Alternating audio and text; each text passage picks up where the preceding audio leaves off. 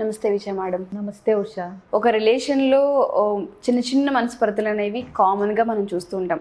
అది wife and హస్బెండే కానివ్వండి వేరే రిలేషన్స్ ఏవైనా కానివ్వండి. కానీ అవి వచ్చినప్పుడు వాటిని ఎలా సార్ట్ అవుట్ చేసుకోవాలి? ఏ విధంగా ముందుకెళ్ళాలి? ఆ రిలేషన్లో అదొక మచ్చలా మిగిలిపోకుండా ఉండాలి అంటే అసలు ఏ విధంగా అంటారు? ఎస్పెషల్లీ కమ్యూనికేషన్ గురించి కానివ్వండి లేకపోతే సమస్యలు ఏ విధంగా సార్ట్ అవుట్ చేసుకోవచ్చు ఏ విధంగా అవతల వ్యక్తిని మనం చెప్పుకోవచ్చు అనేది ఎక్కువగా మీరు చెప్తూ ఉంటారు కాబట్టి నేను ఈ క్వశ్చన్ తీసుకోవాల్సిన అవసరం వచ్చిందనమాట దీని గురించి అసలు మీరేం చెప్తారు? అసలు మంచి ప్రశ్న ఉష. ఎందుకంటే నువ్వన్నట్టు ఏ రిలేషన్షిప్లో అయినా ఇద్దరు కానీ అసలు వ్యక్తులు కలిసి ఉన్నప్పుడు చిన్న చిన్న మనస్పర్ధలు మిస్అండర్స్టాండింగ్స్ లేకుండా ఉండాలనుకోవటం అసలు అది అంటే అసలు మన ఎక్స్పెక్టేషన్కి ఎక్స్పెక్టేషన్స్ ఉండకూడదు అసలు అట్లా. ఎందుకంటే ఖచ్చితంగా వస్తాయి. ఆఖరికి అమ్మ కూతురికైనా సరే అదేంటి తండ్రి కొడుకులకైనా సరే చిన్న చిన్న డిఫరెన్సెస్ డిసగ్రిమెంట్స్ ఉంటాయి. అది మనం ఒప్పుకోగలగాలి. అంటే ఏంటి ఒక రిలేషన్షిప్లో ఒక మనం ఒక మానవ సంబంధాల్లో మనస్పర్ధలు కూడా పార్ట్ ఆఫ్ ద మన రిలేషన్ అనేది మనం ఒప్పుకుంటే సగం ప్రాబ్లం ఆటోమేటిక్గా తగ్గిపోద్ది. ఇంకోటి నువ్వు అడిగిన ప్రశ్న చాలా చక్కటిది. వచ్చినప్పుడు వాటిని ఎట్లా మనం డీల్ చేయాలి. అట్లా హ్యాండిల్ చేయాలి?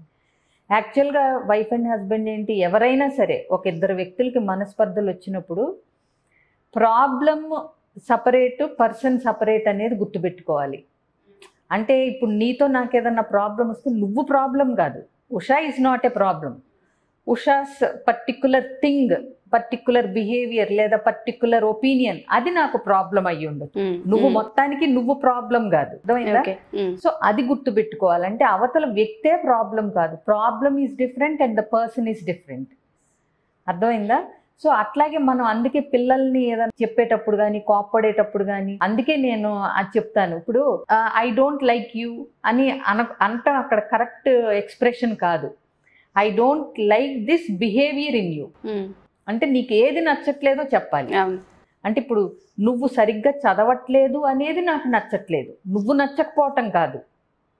నువ్వు ప్రాపర్గా కెరీర్ మీద కాన్సన్ట్రేట్ చేయటం లేదు అనే విషయం నాకు నచ్చట్లేదు. అంతేగాని నువ్వు నచ్చకపోవటం కాదు. ఈ డిఫరెన్సియేషన్ అనేది ఉండాలి. ఎస్పెషల్లీ ఇప్పుడు అందరూ ఎక్కువ ఇంగ్లీష్లో మాట్లాడుకుంటున్నారు. I hate you I don't like you లేకపోతే I don't like this I don't like that అని ఏదో ఒకటి. సో అది పర్సన్ని మొత్తం కేటగరైజ్ చేయకూడదు. సో ప్రాబ్లం వేరు పర్సన్ వేరు. సో ఎక్కడ నా- అది విడదీసి చూడాలన్నమాట. మనిషి మొత్తాన్ని అక్కడ మనం కలిపి చెప్పక్కర్లేదు. ఇంకొకటి ఈ మనస్పర్ధలు వచ్చినప్పుడు అది మాత్రమే ఆ రోజు జరిగిన అప్పుడు దేని ఏ విషయంలో వచ్చిందో అది మాత్రమే మాట్లాడుకోవాలి. జనరల్గా కొంతమందికి ఏంటంటే చరిత్రలు తవ్వి మాట్లాడుతుంటారు. అంటే నువ్వు అప్పుడు అలా చేసావు ఇప్పుడు అలా చేసావు సంవత్సరం క్రితం అట్లా చేసావు. Especially wife and husband argue చేసుకునేటప్పుడు ఏదన్నా విషయం వచ్చినప్పుడు నువ్వు పెళ్ళైన కొత్తలో దగ్గర నుంచి మొదలు పెడతారు. అర్థమైందా? అది పెళ్ళై వీళ్ళకి పాతిక ముప్పై ఏళ్ళు అవనివ్వండి అంటే పాతిక సంవత్సరాలు వెనక్కి కూడా వెళ్ళిపోతారనమాట సో అది కాదు కదా ఇవాళ నీకు ఏది నచ్చలేదు అది ఎందుకు నచ్చలేదు అది చెప్పగలగాలి నువ్వు. ప్లస్ ఇంకొకటి చెప్పేటప్పుడు మనం అంటే అవతల వ్యక్తికి ఎక్స్ప్లెనేషన్ ఇచ్చే అవకాశం వాళ్ళు చెప్పింది వినగలగాలి. ఎంతసేపు అవతల వ్యక్తి చెప్పేది ఇప్పుడు నువ్వేదో అక్యూజ్ చేస్తున్నావు నువ్వు ఇలా చేసావనో అది నాకు నచ్చలేదనో ఏదో ఒకటి. అప్పుడు వాళ్ళు దానికి ఎందుకు అలా జరిగిందనో లేకపోతే అది కాదు అనేదో వాళ్ళు మొదలుపెట్టి చెప్పినప్పుడు అది పూర్తిగా వినగలగాలి. ఇంకొకటి మనం వాళ్ళ మీద వేసిన అబాండం ఏదైతే ఉందో అది కూడా కరెక్ట్గా వాళ్ళకి అర్థమైందా లేదా కూడా చూడాలి. అంటే ఇప్పుడు వీళ్ళు ఏదో అంటారు వాళ్ళకి ఏదో అర్థమవుతుంది. అర్థమైందా? సో ఇప్పుడు చాలా అర్థాలు లోతు అర్థాలు కూడా తీసుకుంటారు. దాని మీనింగ్స్ కూడా మారిపోతాయి. అంటే ఏంటి? ఇప్పుడు ఈ కంపారిజన్లు ఇవన్నీ చేసినప్పుడు కూడా ఏంటంటే నువ్వు సరిగ్గా చేయట్లేదు ఏ పని నువ్వు సరిగ్గా చేయట్లేదు అని మనం అన్నాం అనుకోండి మనం చెప్పాలనుకున్నది ఏదో ఉంటుంది. కానీ వాళ్ళకి ఏమర్థం అవుతుందంటే యు ఆర్ ఇన్ఎఫిషియంట్ నువ్వు ఏది చేయటానికి పనికిరావు. అనేది వాళ్ళకి ట్రిగర్ అవుతుంది. సో అప్పుడు నీ బాధ్యత ఏంటి? నువ్వు ఏదైతే అన్నావో దాన్ని కరెక్ట్గా అవతల వ్యక్తికి అర్థమైందో లేదో అంటే అతను అనుకునేది కాదు నువ్వు చెప్పాలనుకునేది డిఫరెన్స్ కమ్యూనికేషన్ స్కిల్స్ అక్కడే వస్తాయి. నువ్వేది రియల్గా మీన్ చేస్తున్నావో అదే అవతల వ్యక్తికి అర్థమైందా లేదా అనేది ఎప్పుడు పాసిబుల్ అవుతుంది. ఇద్దరు ఒకళ్ళు చెప్పేది ఒకళ్ళు యాక్టివ్ లిజనింగ్ రిఫ్లెక్టివ్ లిజనింగ్ అయినప్పుడు అర్థమవుతుంది. సో అవతల వ్యక్తి చెప్పేది వినాలి. ఎంతసేపు పూర్తిగా ఉండు నేను చెప్పేది విను అని మధ్యలో ఆపేస్తూ ఉంటారు చాలామంది ఆ ఆర్గ్యుమెంట్స్లో.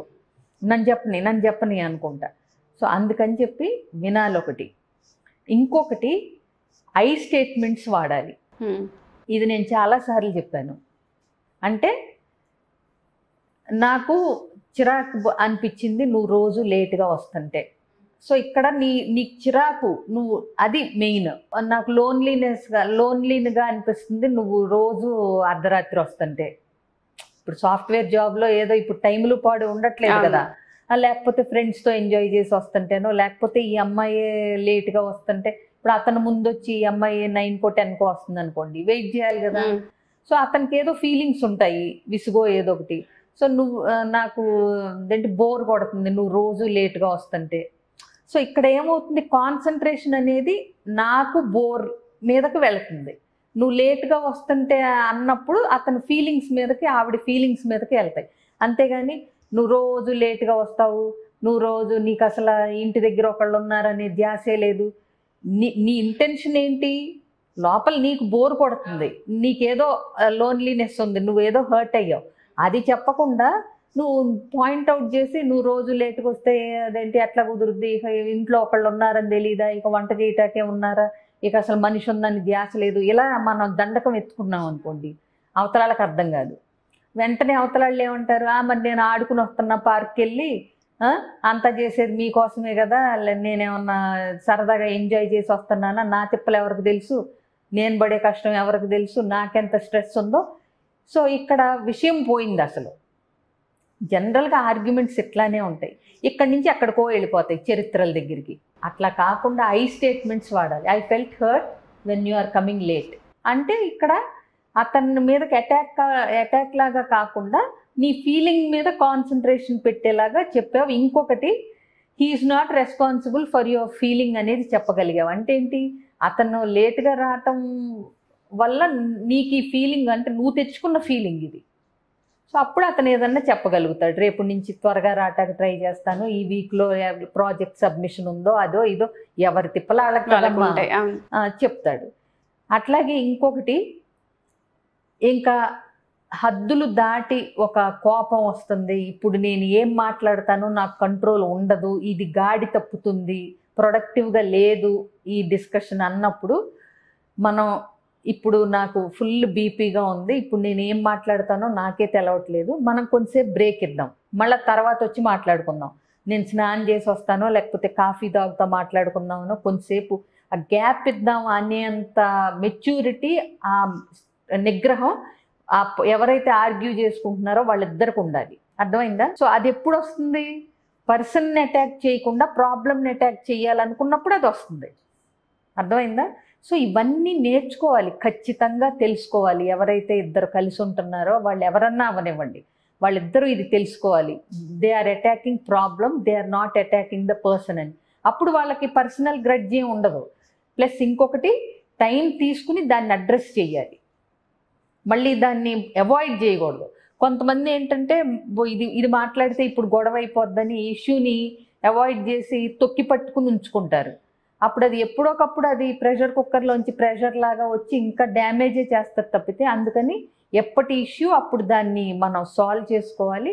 ఇంకొకటి పరిష్కారం ఆలోచించే విధంగా మాట్లాడుకోగలగాలి. సో ఇప్పుడు ఇది. రోజు నీకు నాకు లేట్గానే మరి రావటం అవుతుంది. నా ఆఫీస్ టైమింగ్స్ అట్లా ఉన్నాయి దానికి తప్పదు.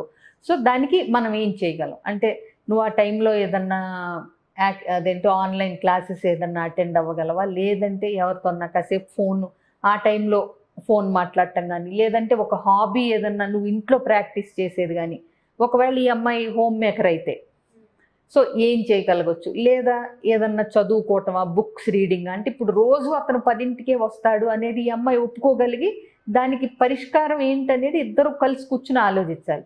ఇప్పుడు ఈ అమ్మాయికి నచ్చట్లేదనో హర్ట్ అవుతుందనో ఇప్పుడు నేను ఇందాక చెప్పిన ఫీలింగ్స్ ఏదైతే బోరుగానో ముందైతే రాలేరు కదా. తప్పనప్పుడు. సో అది అన్అవాయిడబుల్ బట్ మనం దీనికి ఏం చేయొచ్చు? ఓకే. సో అట్లా ఒక పరిష్కారం దిశగా ఇద్దరు ఆలోచించుకోగలగాలి. లేదా వారానికి రెండు రోజులు ఏమన్నా తొందరగా వచ్చి వర్క్ ఫ్రమ్ హోమ్ చేయగలిగే అవకాశం ఏమన్నా ఉందా? వారంలో రెండు మూడు రోజులు ఇంటి నుంచి పని చేయగల అవకాశం ఉందా? లేకపోతే తిను కూడా ఏదన్నా చిన్నగా ఏదన్నా చేసుకుని టైం పాస్కి ఏదన్నా స్టార్ట్ చేయగలిగిన ఇది ఉందా ఏంటి ఆ బోర్ కొట్టకుండా? తనకు టైం తన టైంని తను ఎట్లా సద్వినియోగం చేసుకోగలిగి అతను లేటుగా రావటం అనేది తనకు ప్రాబ్లంగా కాకుండా ఎట్లా చూసుకోగలవు అనేది ఇద్దరు కలిసి కూర్చుని ఆలోచించుకోవాలి. ఆలోచించి ఆలోచిస్తే పరిష్కారం దొరకని సమస్య అనేదే ఉండదు. ఓన్లీ థింగ్ ఏంటంటే వీళ్ళిద్దరూ మనం ప్రొడక్టివ్గా ఉండాలి రిలేషన్షిప్లో చక్కగా ముందుకెళ్ళాలి అనేది ఆ చిన్న జ్ఞానం ఉంటే చాలు. మీరు ఏదైతే చెప్పారో మేడం ప్రాబ్లమ్ని ఎప్పుడు మనం చూడము. ఆ పర్సనే ఫస్ట్ వెళ్ళిపోతూ ఉంటాం. ఆ పర్సన్. మీదకి దూషిస్తూ ఉంటాం. మనం దేని గురించి అయితే ఇబ్బంది పడుతున్నామో ఇబ్బంది పడుతున్నామో ఆ పదాన్ని అసలు ఎక్కడా వాడం? మీరు అన్నట్టుగా నువ్వు లేట్గా వస్తున్నావు నీ వల్ల ఇది ఇంకా అలా వస్తూనే ఉంటాయి. వాటి నుంచి ఎక్కడెక్కడికో నిజంగానే చాలా రిలేషన్స్. దూరం అయిపోయినవి కూడా ఉన్నాయి వాటి వల్ల. చిన్న దాంతో స్టార్ట్ అయ్యి పెద్ద. పెద్దగా జరిగిన సందర్భాలు చాలా ఉన్నాయి. నా దగ్గరికి కొంతమంది అంటే కౌన్సిలింగ్ వస్తారు యంగ్ కపుల్స్ వాళ్ళని చూస్తే నిజంగా అంటే నేను వాళ్ళతో అనను బట్ నాకు అంటే ఒక కౌన్సిలర్గా లేకపోతే ఒక పేరెంట్గా మామూలుగా అంటే నవ్వు వస్తుంది అనమాట అంటే పిల్లలకి అంటే ఎలాంటివి కూడా ప్రాబ్లమ్స్ అయిపోయినాయి. పిల్లలు అంటే ఎంత డీల్ చేసుకోలేకపోతున్నారు. మళ్ళీ పెద్ద పెద్ద ఉద్యోగాలు చేస్తుంటారు. ఒక్కొక్కళ్ళకి లక్షల్లో ఉంటుంది. జీతం. బట్ చిన్న అంటే ఆ ఆ మైండ్ సెట్ దగ్గర ఆ ఈగోస్ కానీ ఆ మైండ్ సెట్స్ కానీ అది కరెక్ట్గా మాట్లాడుకోకపోవటం కానీ ఎందుకంటే దానికి మళ్ళీ చాలా ఫ్యాక్టర్స్ ఉంటాయి. Thank you ma'am thank you so much so ఎవరైనా సరే ఈ ఎపిసోడ్ చూసిన తర్వాత కమ్యూనికేషన్ ప్రాబ్లమ్స్ కావచ్చు లేకపోతే పర్సనల్ ఇష్యూస్ కావచ్చు లేకపోతే రిలేషన్కి సంబంధించిన సమస్యలు అయి ఉండొచ్చు లేదంటే పిల్లలకు సంబంధించిన సమస్యలు అయి ఉండొచ్చు ఏ పరి ఏ సమస్యకైనా సరే పరిష్కారం అయితే ఖచ్చితంగా ఉంటుంది. విజయ మేడంతో కనుక పర్సనల్గా వన్ టు వన్ సెషన్స్ కావాలి అనుకున్నా లేకపోతే ఫ్యామిలీ కౌన్సిలింగ్స్ కావాలి అనుకున్నా మేడం అయితే అవైలబుల్గా ఉంటారు. కింద స్క్రోల్ అవుతున్న కాంటాక్ట్ నెంబర్ని కాంటాక్ట్ చేసి మీరు పూర్తి వివరాలను తెలుసుకోవచ్చు. Thank you